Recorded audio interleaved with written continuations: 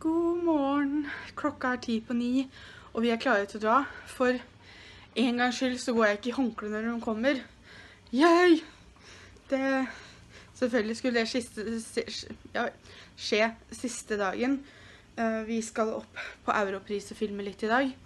Så nå venter vi bare på at de skal komme og hente utstyret, og så skal vi dra sammen opp. Jeg har på meg en svart T-skjorte, og så skal jeg ha denne grønne T-skjorten, ikke T-skjorta, grønne skjorta fra Kapal utapå.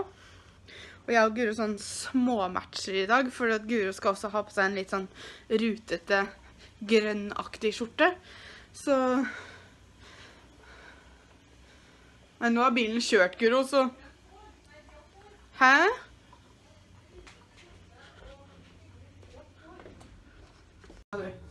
Rutete skjorte og tydeligvis grått hår, sier han. Ja, men få se. Det, jeg tror ikke det er så ille som du skal ha det til.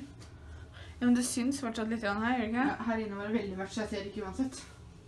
Det blir bedre og bedre. da. Kom, kom ut i lyset. Det går bort mer og mer. Men jeg... altså, Batiste tørrsjampoen er veldig bra, men jeg syns det grå belegget i håret blir litt lenge. Ja, men det går bort etter hvert. Ja, jeg vil jo tro det. Jeg Jeg håper håper det. Ja. Altså, det pleier å gjøre det. På Europris og filmer litt. Vi har putta et par ting i handlekulen her. Det er noe til en taste-test med mamma. En tøymøkner som Pia skal teste om hun er allergisk mot. Hjerteformer til kake. For jeg og Petter har vært sammen i tre år på onsdag. Hjelp. Så da skal jeg prøve å få ordna noe romantisk, selv om jeg jobber, da. Så en liten pause i romantikken sånn med en gang. Jeg fant de kuleste tøflene noen gang på Europris. Pia og de driver og filmer der borte, så jeg går og tusler litt. Men se så fin, da. Så har de også grå. Da har vi kommet fram til bestefar. Vi skal sjekke posten, og så skal vi gå inn og sjekke at alt står bra til i huset. Eh, For det fant vi ut at vi hadde lyst til å gjøre i dag. Mamma bør jo ikke dra innom hver dag. Noen ganger kan vi gjøre det òg. Så vi var ute og kjørte, så da passa det bra. Så det ser bra ut fra utsiden, da. Så det lover jo godt. Ja, da Mossespesialisten, holdt jeg på å si. Spe- Spesialiteten heter det kanskje. Ja, spesialisten.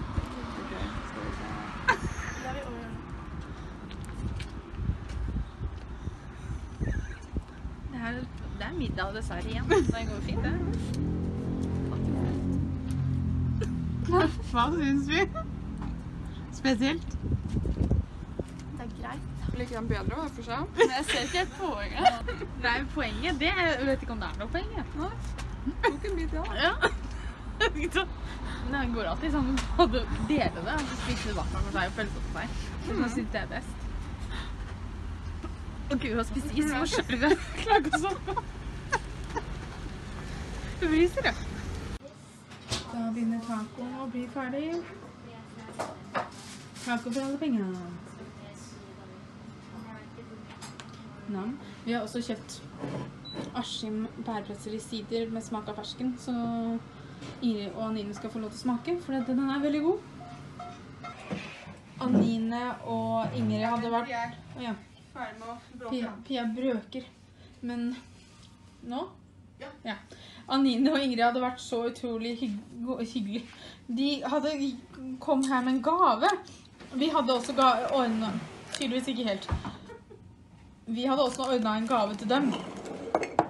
Men vi forventa jo ikke noe av dem, fordi at altså de har vært så snille og lagd dokumentar om meg og Pia som bachelorgave. Altså, hva mer kan vi be om? alt si? Eh, men vi fikk da med en Anton Berg Sweet Moments Soft Caramel with Sea Salt. Og den her sa de det at vi kunne ha med en taste test en gang. Um, og den her tror jeg kommer til å bli veldig, veldig god. Så vi skal ha en taste test sammen med mamma nå snart. Så da skal vi ha med den. Og den her, for det er Freia Premium Rustikk Appelsin og karamelliserte mandler. Uh, spennende. Så fikk vi California Style Barbecue Sauce, Wonder Pepper og Yellow Mustard. Og New Mexico Style Barbecue Sauce, to Tomatillo og Green Chilies. Spennende, spennende. Så fikk vi også hver vår kopp som det sto Falalalala-lama på. Noe som jeg syntes var veldig gøy. Det var en utrolig søt kopp. Og oppi der så sto det da to barer. Eat natural, fruit and nut bar milk chocolate. Det her er favoritten min. Og så fikk vi også peanut and almonds. Den er også sikkert veldig god. Pia fikk en sånn løkkutteting. Og jeg fikk måleskjeer! Og dem hadde jeg ikke fra før. Så tusen, tusen takk Anine og Ingrid. Det har vært en drøm å jobbe med dere. I morgen, Vi er nå offisielt ferdig med å filme inn til dokumentaren, men de kommer innom igjen i morgen for å si ha det. Og det kommer til å bli så trist å si ha det. Jeg merka det allerede nå når vi sitter og spiser middag og vi har skrevla i Mange timer. tre timer eller noe.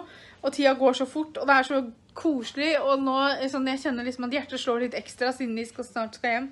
Uh, men vi får se dem en gang til, da. Så det er koselig. Så nå skal jeg og Pia spille inn podkasten som skal ut på søndag. Og så tenkte vi at vi faktisk skulle pusle litt. Fordi vi fikk ikke pusla ferdig det vi begynte på her om dagen. Men vi går for et annet da, Pia. Ja, ja. Ja, For vi har litt sånn Disney-puslespill som ikke vi har pusla ennå. Så kunne vi jo tatt et av dem, kanskje. Vi sitter og koser oss og pusler. Vi hadde faktisk ikke pusla Beauty and the Beast Disney-puslespillet enda, så da måtte vi Har du lagt merke til også for det? Så ikke jeg før nå. Det at årstallet filmen kom ut, står oppå der. Ja.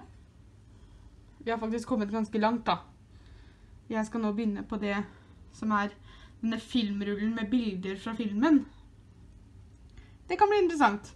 Jeg har pusla ramma, Guro har pusla alt annet. Hvem tror vi har pusla mest? Den konsentrerte fruen. Jo, men altså Jeg har ikke nødvendigvis pusla det som er vanskeligst, da. Nei, for alle liksom Ikke alle, da. Men det her er kanten, så det er veldig mye likt. Så det tar litt tid. Pluss at jeg var ganske sta og mente at det kom til å være 40 brikker på den lange sida, og det var bare 36. Så da lette jeg til brikker som ikke fantes. Det er lurt. Jeg tror ikke vi kommer til å bli ferdig i dag, men eh, Hva? vi har kommet godt på vei, da. Ikke? Jo, altså Kjenner jeg deg rett, så kommer ikke du til å klare å pusle før du er ferdig, men eh, Gå og legge meg før jeg er ferdig, i hvert fall. Hva sa jeg? Gå og pusle. Jeg mente gå og legge meg. Deg! Herregud. Men jeg tenkte i hvert fall at jeg skulle avslutte vloggen nå, Guro. Så hvis du avslutter først, så kan jeg avslutte etterpå. Natta, takk for i dag. Håper du har hatt en kjempefin dag. Og så ses vi i morgen. Og så er det min tur. Natta. Vi ses i morgen.